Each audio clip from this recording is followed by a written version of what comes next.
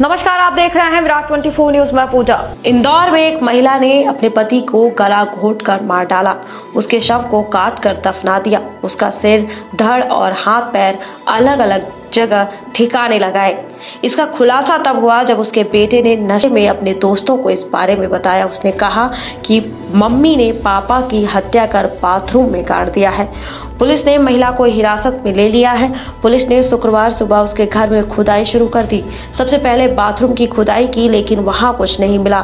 फिर महिला ने दूसरी जगह बताई, जहाँ जेसीबी से खुदाई की तो पति का शव छह फीट की गहराई में मिला।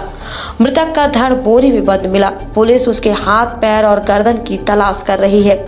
खुदाई अभी भी चल रही है। टीआई राजेंद्र सोनी ने बताया कि सूचना मिली थी कि उमरी खेड़ा के पास कांकड़ में रहने वाली 40 साल की सुनीता ने अपने पति बबलू की हत्या कर दी।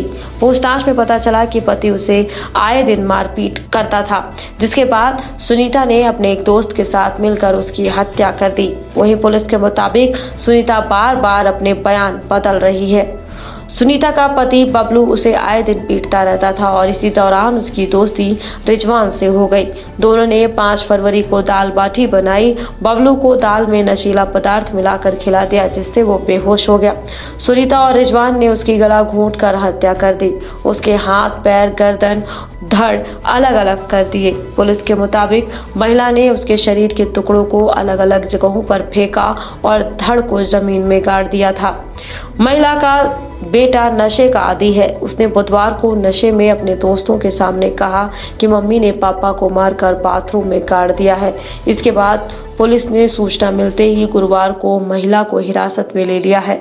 वहीं मिली जानकारी के मुताबिक, पहले गणेश धाम कॉलोनी में महिला रहती थी। आठ दिन पहले ही वह उमरी खेड़ा कांकड़ में रहने आई थी।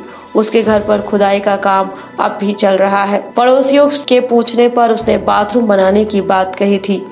पुलिस को सुनीता के दोस्त रिजवान की तलाश है। उसने साथ में मिलकर पूरे घटनाक्रम को अंजाम दिया था। इस मामले में अभी उसके दोस्त को नहीं पकड़ा गया है लेकिन सुनीता और उसके बीच संबंध होने की बात सामने आई है और इसी के चलते बबलू को रास्ते से हटाया गया है। ये टेंपो खड़ा ऊपर टेंपो से नीचे साइड में जाओ। हाँ। दीप वाला ढाबा के सामने।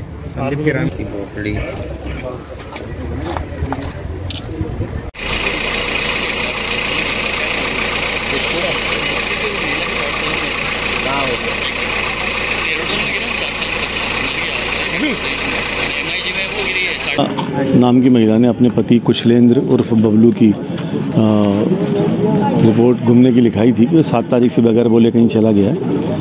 उसकी तलाश की जा रही थी फिर बीच में तलाश के दौरान मुखबिर से पता चला कि वो महिला घर छोड़ के भागने की तैयारी में है और संभवतः उसने अपने पति को मार के कहीं गाड़ दिया है। इस आधार पर महिला को अभी रक्षा में लेकर रात में पूछताछ की गई। तब उसने बताया कि उसने अपने साथी रिजवान और रिजवान के एक दोस्त भैयू की मदद से अपने पति को पहले नींद की गोलियाँ खिलाई और उसके बाद में भैयू और रिजवान ने उसको मार, मारा, जैसे भी मारा वो काटा मारा, क्योंकि बॉडी में किस प्रकार की चोटें पीएमसी पता चलेंगी।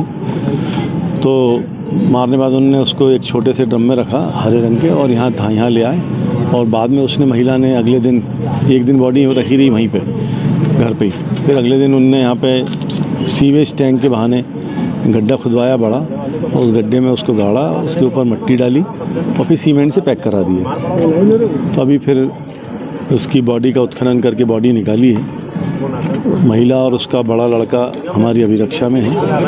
अब बड़े लड़के ने की मदद से उन्होंने बॉडी के कुछ पार्ट, हाथ और पैर जो हैं, वो कहीं इंदौर में कहीं देवगढ़ तरफ़ फेंकवाए हैं, जिसको अब बरामद किया जाएगा तमाम बड़ी खबरों के लिए देखते रहिए विराट 24 न्यूज़, नमस्कार। खुल गया खुल गया खुल गया। आपके शहर में सर्व सुविधा युक्त स्काई रेस्टोरेंट खुल गया। वेज नॉन वेज भोजन का लुत्फ उठाने के लिए अवश्य पधारें। हमारे यहाँ स्काई स्पेशल थाली के साथ जन्मदिन, तिलक। एंगेजमेंट रिसेप्शन के लिए हॉल उपलब्ध है। ऑनलाइन ऑर्डर के लिए संपर्क करें nine zero three nine zero double three double six one पर। पता याद रखें स्काई रेस्टोरेंट विश्वविद्यालय रोड लोटस टावर खुटे ही, रीवा।